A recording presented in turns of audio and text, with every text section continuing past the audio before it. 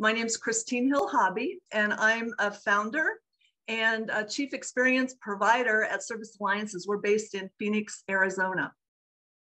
Um, at Service Alliances, we specialize in uh, training programs, both customized and off the shelf, uh, instructional design for in-person, e-learning, and uh, the newer technologies of virtual reality, augmented reality, and extended reality.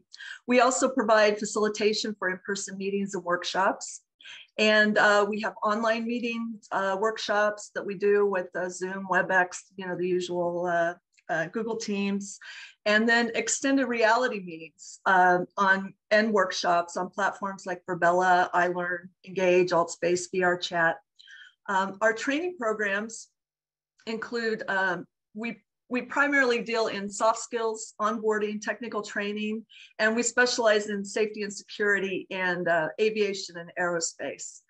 Uh, currently, we have 16 programs, uh, which are listed here. And I know I'm going to go through this kind of fast. It's a little hard to, to read too fast, but um, I wanted to just jump right in uh, and show you a video of some of our programs. And this will, if I can get to the right slide here, um, that will illustrate it a little better. And I'll just talk as the video goes.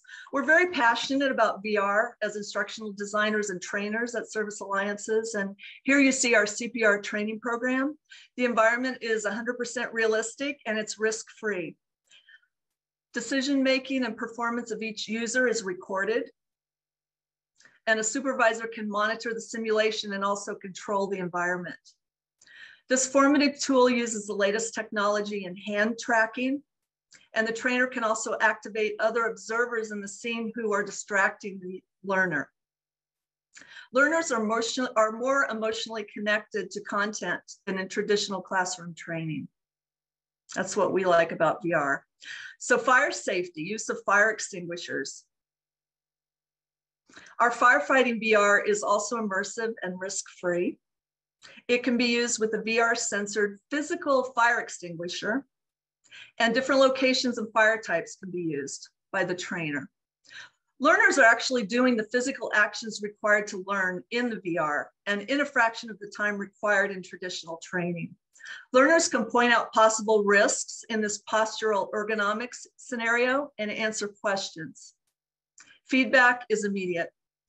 VR can also reduce the number of accidents and casualties. Students can learn autonomously or be guided by a supervisor or trainer who can explain through voice and visual signals.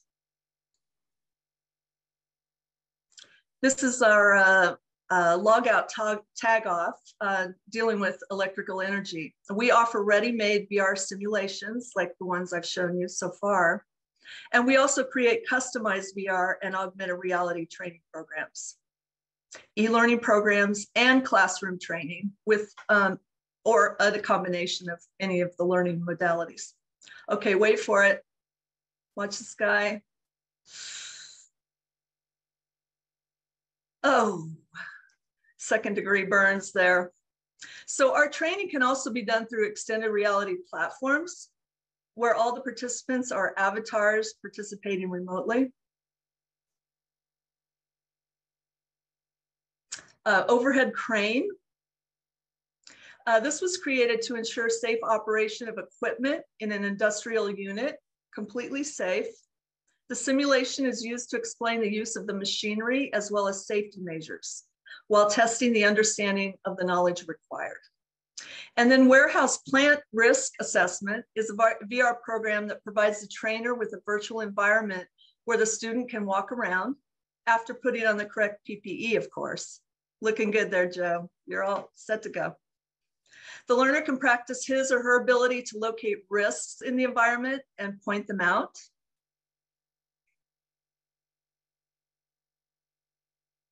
And results are shown to the student at the end of the walkthrough. Aircraft fueling for a business jet is an example of a recent customized program we developed. We work with subject matter experts to develop the storyline and then build the program to the client's specifications. The technology is getting better and better by the day. Um, active shooter traumatic situation training is available for the classroom through e-learning and with the VR program. Learners better understand the impact of traumatic situations in the workplace and how it impacts their ability to think and respond. This program also includes CPR, Stop the Bleed, and defibrillator training and is facilitated by first responders. Level one of the active shooter includes these three modules. And then finally, I just included a couple clips here. This was from an extended reality platform uh, where I uh, facilitated a meeting last week. Um, and you can see we had a lot of fun in it with our uh, Halloween costumes um, and had some great learning from it as well. So again, here are the current programs that we have. Uh, we, we do um, develop custom programs if needed. And here is my contact information. Uh, I have a profile on GovShop and uh, would love to hear from you. And thank you again.